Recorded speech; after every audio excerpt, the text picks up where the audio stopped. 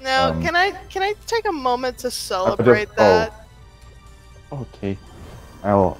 I'm sorry, I didn't mean to interrupt you. You're fine. Keep going. I just want to celebrate the fact that Aeon has a job again because these last few months have been hell on earth for him. Cause last year. Yeah, like almost half, like almost half a freaking year he had been suffering from. I mean, if you don't mind me sharing some of the details. I don't mind. Okay. I don't mind. Okay. He had been suffering from severe de- uh, depression, psychosis, Or psychotic depression. Yeah. or psychotic Yeah. depression. Sorry. Ooh. Um, and it was physically impossible for him to work, um, physically and mentally. Um, it got to a point where my efforts, even though I know he says I've been helping and whatnot, but even I couldn't help him to the point that ambulance had to be called and uh, doctors had to get involved. Fun, fun shit. And yeah. Then you got to see me taken away in a police car after I turned myself into the cop. Yeah. Uh, just overall, the overall concern that, oh my god, is he ever going to have a normal life again? That was my fear. But no, he, he came out of it. Congrats to Aeon. I am very proud of him. Yee. I'm I'm gonna say what I said before. Aeon, I love you. You're fucking you're fucking realist of reals. And if you ever need anything, homie, I got you. Say a I word. got you too, bro. I love you too. And yes, I'm very proud of Aeon. If Aeon Yeah. can get out of something as severe as this shit, then yeah. I hope Mostly- you share your experience too. Oh, I totally am. I was thinking about making a video about that about that Yeah. because I also like I know it's not technically considered an asylum, even though it, it is just a short term asylum. I do want to tell people about all the about what how much of a weird experience it is to go in to be admitted into a crisis unit. Essentially, I think an insane asylum, but instead of holding you for 90 days or longer if they're that the government says they can, um, a crisis unit is short term, and you can only legally be kept there for up to 14 days. Uh, essentially, uh, if it's usually like a policeman, if they see that you might be a significant threat to yourself or others, then they take you to a psychological crisis unit, which is essentially a mental hospital. Yep. Yes, I know see? them. I know them well. Uh, what was your call? Hey Vlad, if you don't mind me remin- reminiscing, is in a weird in a weird way reminiscing, I suppose. Um, what was your call? What was your call sign? Mine was 104 Bravo. Uh, it wasn't me who went. It was my uh, my older brother when we first adopted him, because he. And I can. He talks about this all the time. Uh, when we first adopted him, we adopted him from Philadelphia. He had been in the system up until he was 13 years old. Hey, Aeon, Ooh. Yeah. can you do me a favor and go get Lars? He's gonna get a kick out of this. What does it mean to spurn? Hmm? What does it mean to spurn? As in to spurn someone? This wants you to see something. Oh, So it's, it's uh, take care of spurn. it, but you have to physically. Spurn is uh, to spurn someone is to like reject them, to like push them away. Okay. Because I'm reading here. To your it. mother? He can't because Whatever. uh, you're in a warship game, aren't you? Oh, okay. okay. Yeah, but because boats. Uh, okay, I will see if I Screenshot it. There, I took a picture. Um, yeah, no, uh, yeah, Vlad, when I was in there, your call sign changes depending on what room you're in, fun fact. So I was known as 106 Alpha when I was admitted in, but I was really, but I was only called 6, or, or they would also shorten it to 6 Alpha or 6A, and that's what they would call me on the radio. Yeah, it was my my experience with it was my older brother. We adopted him. He had been in the system for like 13 years, uh, and had a very different. He still tried to treat like our small like suburban like middle of Pennsylvania woods town as it was like Philadelphia, downtown Philly. Uh, and my mom tried to make him understand that it wasn't like that. So one day he said that he was going to leave the house, and my mom said he couldn't. One thing led to another, and uh, they took a tumble down the stairs, and my mom broke three of her ribs. Jesus. Oh. Oh. But even with three broken ribs and being 50 years old, my mother was still able to choke him out and knock him unconscious. Well, your mom is like, isn't she like a badass? Like, She was the prison guard for 20 plus years. yeah, I was gonna say you don't you don't be a prison you don't be an old prison guard without being a badass. Like she went down Oh, those stairs because. I was, I was downstairs in the playroom when I heard, and I see my mom and my older brother Shit. sprawl out on the floor, and my mom just is holding him. Fuck you say to me, boy. Like, I love my mom, but if you ask anybody in the town of Brookfield, Pennsylvania, who runs it, they will answer with my mom's name. It's not the borough, it's her. Uh, no, dude. Pen- Pennsylvania's pretty, man. Like, it's way prettier than you think it has any right to be. Like, people people don't usually think of Pennsylvania, but Fuck. dude, fucking go through Pennsylvania. It beats up. Like, it even beat out Colorado for me in some in some areas. Have you ever been on the Appalachian Trail, uh, like towards the beginning of fall, right as the leaves are starting to change? The closest experience I have, even though I'm sure they're, these are both unique in their own way, is driving through the White Mountains of New Hampshire during autumn. Yes, it Although is. the White, it's, yeah. Damn it. it's similar, but Fuck. it's just it's I can It's- tell it's Appalachia, much the same way like if you were on the White Mountain high, like what is it, uh, Interstate, the northern part of Interstate 90, 91 and 89, dude, you yes. you would you would tell it's the White Mountains the same way I can tell what what is Appalachia, but they're both so fucking pretty. Like, you know, I also have to give it another shout out to this. Thank God we built the interstate to weave around the Oh. mountains because oh fuck, it is one of the most beautiful drives you will ever do if you ever do an East Coast drive because, like. You can drive across the entire Appalachian Trail is because you're in a car essentially within a couple days. Mhm. Um, and like, fuck, I remember driving through Shenandoah Valley, Shenandoah River Valley. yeah. Oh. God, I wish I had a GoPro strapped to the roof of my car, like a 360 GoPro, Yeah. just so like as I'm driving, you can just like flick an analog stick or look around on your phone, and you're looking around on top of our 80 mile an hour car. Blue Griffin used to live in PA. It's where uh, they developed their love of cheesesteak. So I can take a guess in which area of PA you lived in, and I can firmly say I have been all across Pennsylvania, as we call it. We here residents call it. I lived in the area that was Erie. I lived in the Hicks from Pittsburgh, the Pittsburgh area, the Hickson Mountains, the Hickson Amish, God the damn. Hershey Annex, Poconos, the from Philadelphia with quotation marks, and Philadelphia. Fuck! on uh, Peter's point about like footage uh, on that kind of on those kind of interstates, I shot a bunch of stuff when I was dri- when we were driving to TrotCon in Ohio because you have to go up a lot of Tennessee and there's a lot of, and Kentucky where there's a lot of those winding, you know, mountain highways. Get out of my way! God, they're so pretty. Like Oh no, Robin. The the thing that would make that I would love to do with like all you guys is okay, rent out a minivan because you can rent them out for pretty cheap.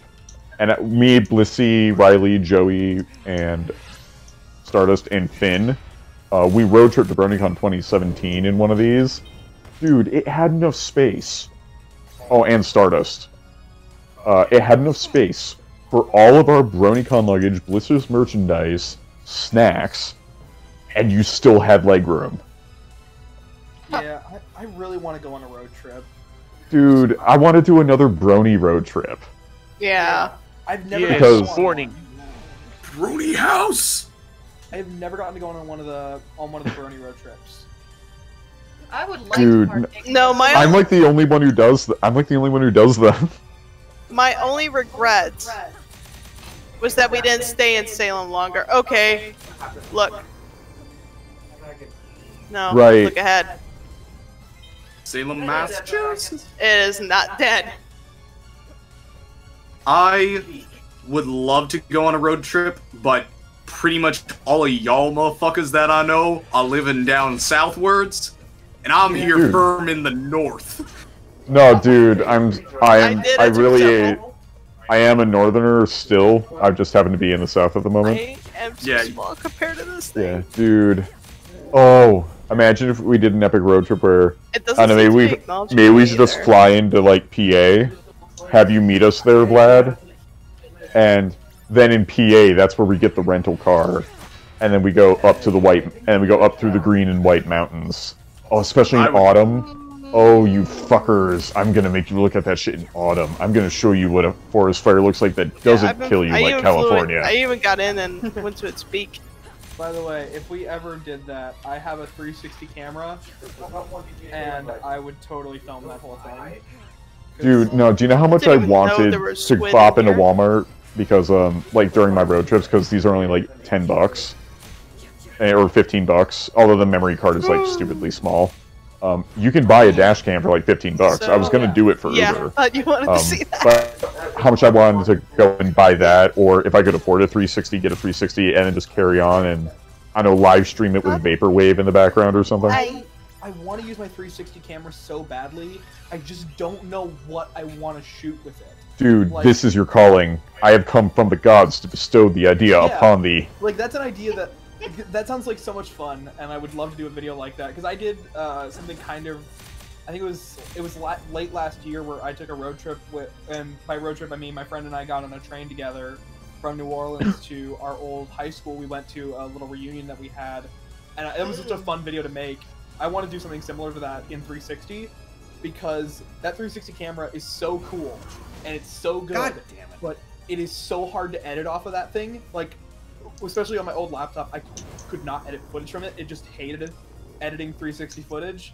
And the computer I have now actually can edit 360. So now it's like a question of, Oh my god. alright, what am I gonna do with it? What can I? Oh do my with this fucking god, I thought of something else. I thought of something else to do on this road trip. Okay, imagine this.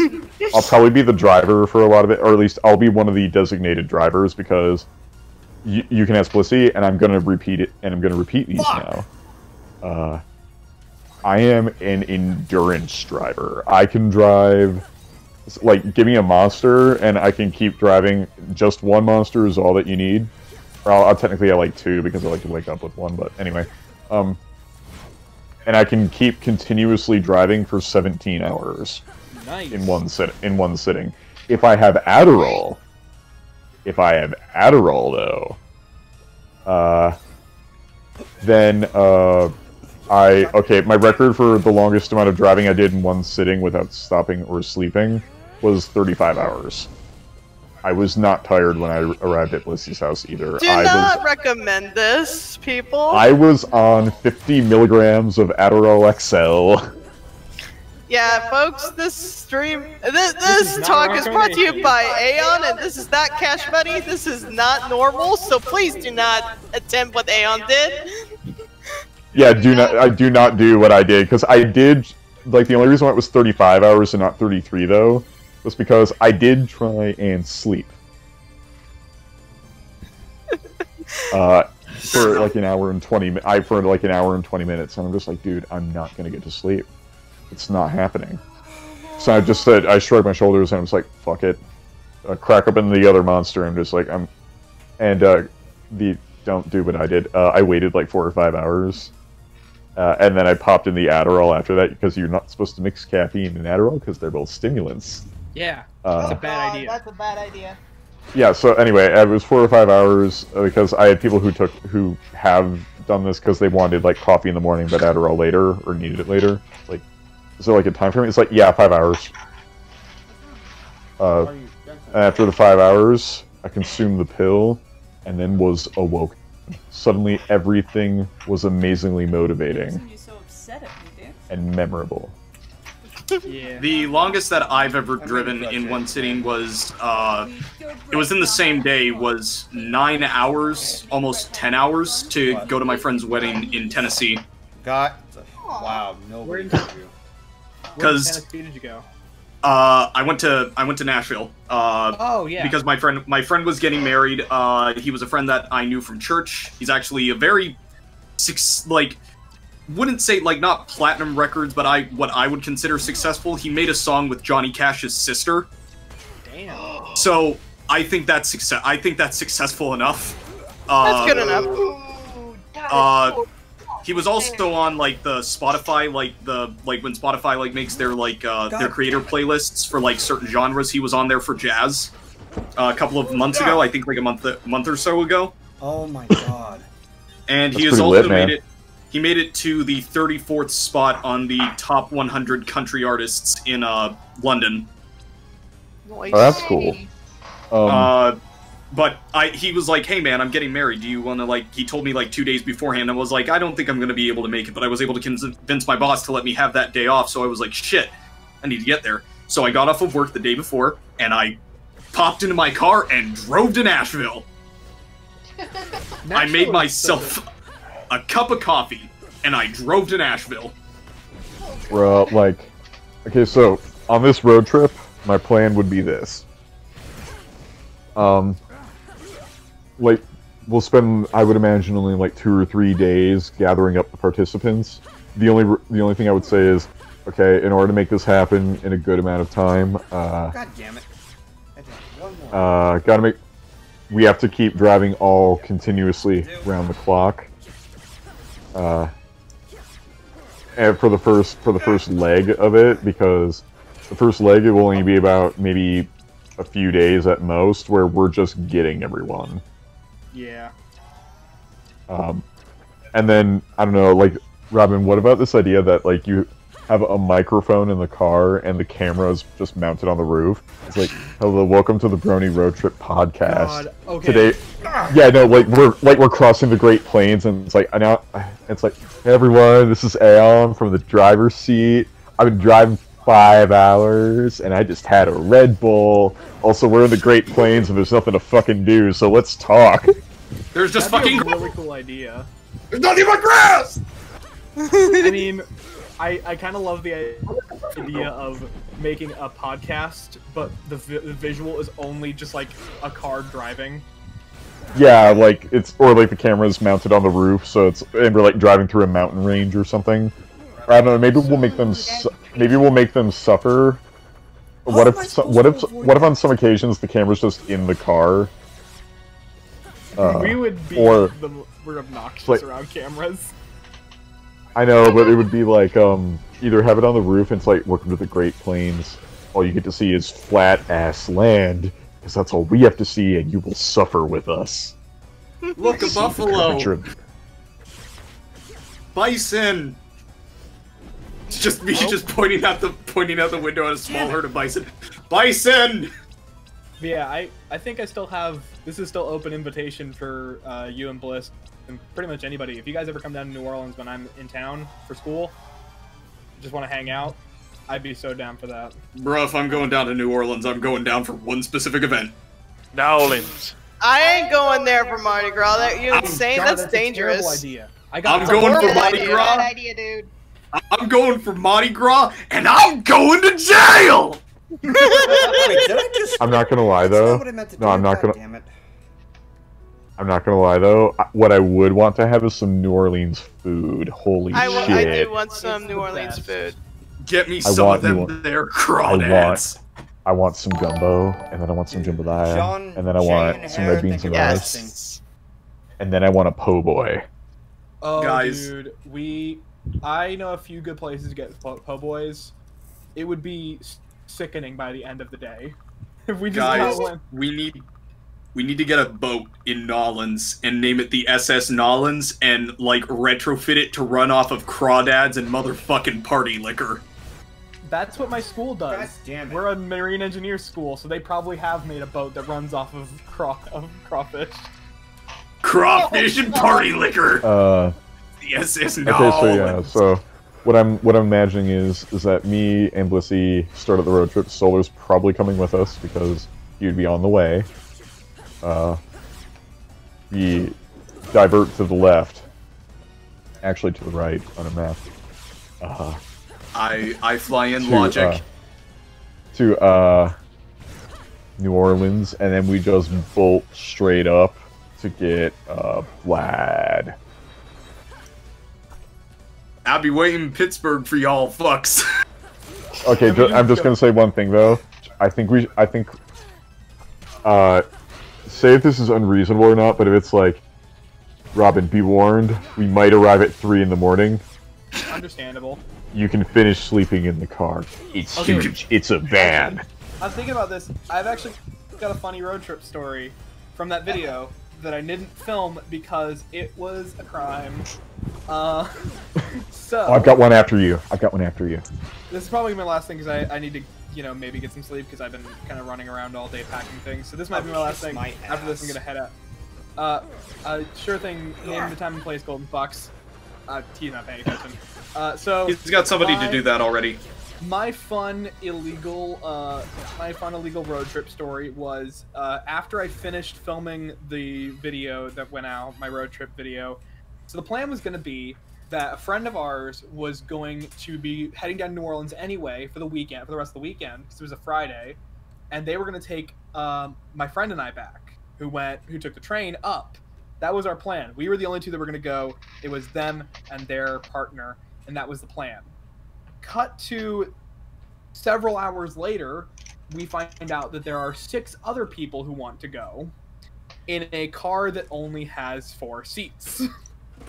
so we decided, I was not a part of this conversation, that instead of telling the people who weren't going to go to New Orleans originally that they probably shouldn't go to New Orleans or to take their own car, we decided to take the seats out of the back of the car and shove six people huddled together in the trunk of a car. It was like kind of a minivan kind of thing. By the way, this is illegal in both Mississippi and Louisiana. This is a crime Oh, no. everywhere we're going. And so Yeah, we uh, spent- no, that's a that's federal because they warn you on Uber, hey, don't carry extra people. That's a five hundred dollar ticket. yeah.